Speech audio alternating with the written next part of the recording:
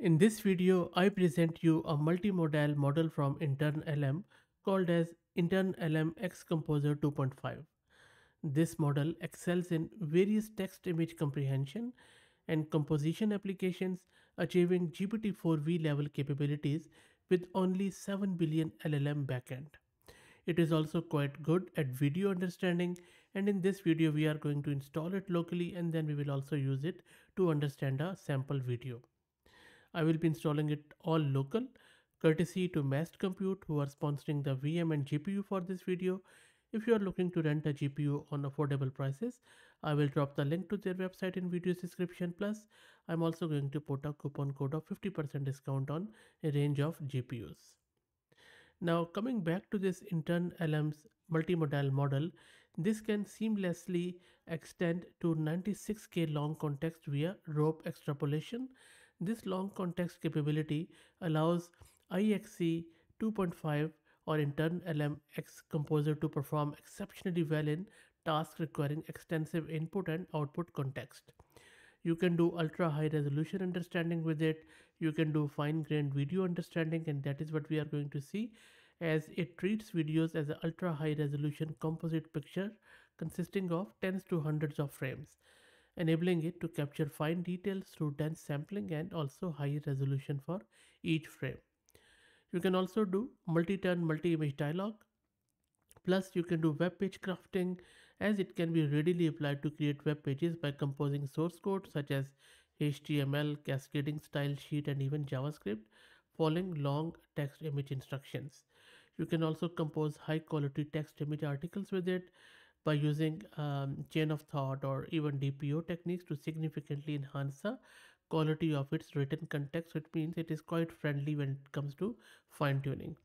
The performance has been quite good so far. The benchmarks I have seen on their repo as it has been evaluated on 28 benchmarks outperforming existing open source models on 16 benchmarks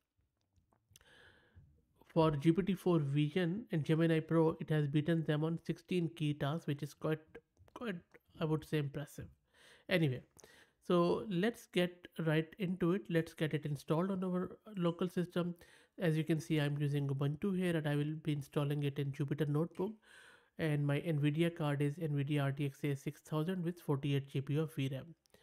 Let me clear the screen and let me first create a Conda environment where we will be installing everything nice and clean separate from my local system. So let's wait for it to get installed. And I'm using Python 3.9 because they have recommended it in their repo. Let's install the Jupyter Notebook too. Shouldn't take too long and then I will clear the screen. let's wait for it to finish that is all done. I have cleared the screen. Let's now launch our Jupyter notebook by simply typing Jupyter notebook. It is going to launch it in the browser. So let's wait for it to launch. That's done. Let's create a new notebook like this. And that is all done. It is using python 3 kernel. Next step let's install some of the prerequisites. For prerequisites, I'm going to install heaps of things with different versions as recommended by them and it is all in their model card or GR repo and I will drop the link in video description. So let's install it. So it is installing tor Torch, Torch Vision, Transformers, Gradio, and 10 Piece, timm, and heaps of other things. So let's wait for it to get installed. Should it, it will take around 4 to 5 minutes, I guess. Okay, it took fair bit of time, but eventually everything is installed, it seems. Let's quickly check. And always make sure to check if there are any errors or discrepancies. Okay, so thankfully everything is done. Let's next git clone the repo of this intern LM and cd to it. And as I mentioned, I'm going to put this in um, video's description, the link, so don't worry about it let's check. We are in that directory. We are. That is awesome. And now let's download our model after importing some of these libraries. And as you can see here i'm just importing the torch and transformers and then we are uh, enabling the gradients. And then here we are downloading the model and its tokenizer. So let's run it. And it has started downloading the model. It seems there are three tensors of this. And the first tensor is around 10 gig. So let's see how long does this take. All the shards of the models have been downloaded and model is also now on my GPU and the size is around 22 gig or 23 gig so make sure you have that much space on your disk. Next up, let's try to do the inference with a video. So here I'm giving it a prompt that here are some frames of a video, describe this video in detail and then I have given it a video which is already present in the repo and I will show you too.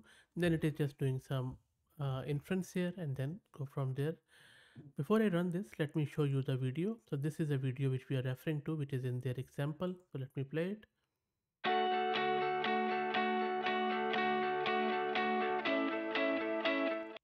So I've just reduced the audio.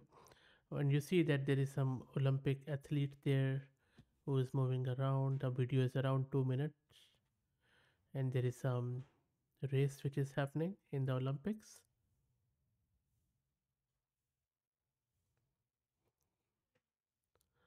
and I think this is something I'll just make it faster and then I guess this guy has won.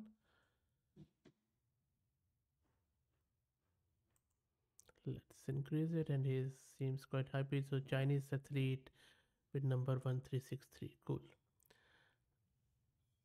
And that's it. So let me minimize it and let's run it. So here we are asking it, here are some of frames of the video. Describe this video in detail. So let's run it to see what happens let's wait for it to come back okay unfortunately it has given me an error here the error is that it needs this flash attention which is a bummer because I don't have that GPU but let's see I will install it and see if this GPU supports flash attention and that will be a real bummer if it doesn't but let's try it out. But if you have the GPU which does then maybe try it out. These are all the instructions which you can use but let me try it out. So I'm going to in install flash attention first and then you see my GPU doesn't really support it and it is going to give me a lot of headache here.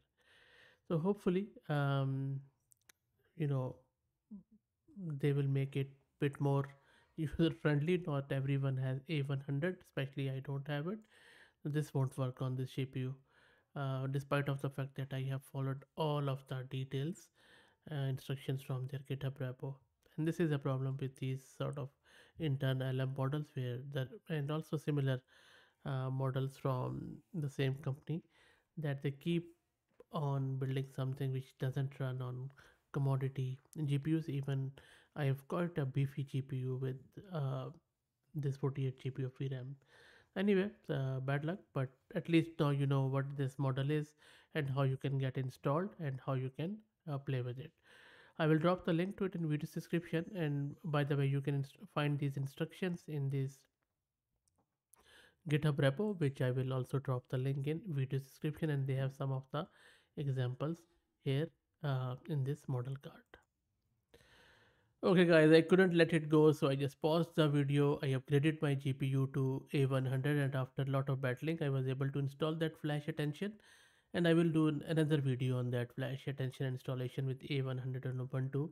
It's real battle anyway but eventually after much blood and sweat and frustration I was able to get this model to generate the response as you can see that it has given us a very good by the way to be very honest and fair that um, good description of what exactly that video was doing as I showed you earlier. So you can find this information on their GitHub repo. Let me quickly take you there. So this is a GitHub repo. So if you go there on Intern LM X Composer, you can find this stuff there. I will also drop the link in video's description. They have just given it there. Not very, very nicely written, quite cryptic, but still if you follow the video plus the code there uh, behind here somewhere you should be able to get it installed. This is the one which I followed I just made some changes which you have already seen in the video. So that's it. My verdict is the model is good but the installation is simply awful and I think they should just get rid of this flash attention or at least maybe have some better instructions for quantization available so that people would be able to run it at least on 48 GB of VRAM. Anyway, that's it guys. I hope that you learned something. As I mentioned, I will be doing another video on flash attention because I believe that is a real pain in the back. If you like the content, please consider subscribing to the channel. And yes, one more thing, sorry I forgot to mention. First I thought I will just delete the video, edit and just present you a vanilla, very edited version. But I, then I thought, no, let me share the pain, the process which we all go through. And because I see in the comments that a lot of people get frustrated with a lot of dependencies and that sort of stuff. I go through it every day multiple times. So this is the way it is. We are working on bleeding edge. Everything is so new. Um, even these creators they have done a wonderful job but they're also working on the bleeding edge. So let's support each other. Let's um, if some dependencies are not working uh, i know it's very frustrating but you know try to get it resolved. Mm, together this takes time this takes over and hours and not to mention um, the money we are spending. I just spend around $50 in upgrading it and but that is not an issue. I mean as long as someone learns it that is i'm happy. But the point of this um, sort of harangue is that i just wanted to share the pain. That is why i didn't edit the video that's it. Let me know what do you think. If you like the content uh, please consider subscribing to the channel. If you're already subscribed can you please do me a favor and share it among at least with one of your friends thanks for watching